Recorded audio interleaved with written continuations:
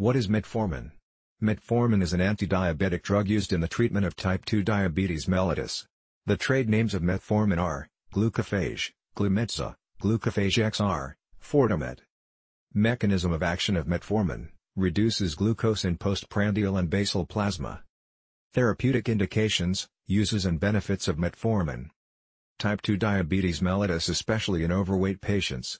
In adults in monotherapy or associated with other oral antidiabetics, or with insulin.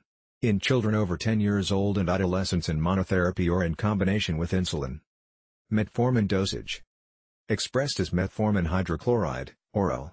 Adults, monotherapy and associated with other oral antidiabetics, usual initial 500 or 850 mg 2 to 3 times slash day, max, 3 grams slash day and 3 doses, combined with insulin, initial 500 or 850 mg 2 to 3 times slash day, adjust insulin dose according to blood sugar.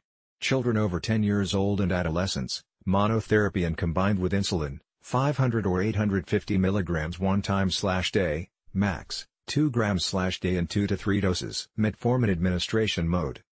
It may be given along with or after meals. You should continue your diet with a regular distribution of carbohydrate intake throughout the day. If you are overweight, you should continue your low-calorie diet. Metformin warnings and precautions.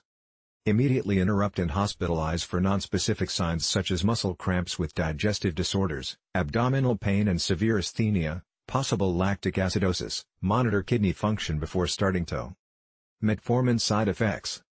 Dysgeusia, nausea, vomiting, diarrhea, abdominal pain, loss of appetite. Please subscribe to the channel.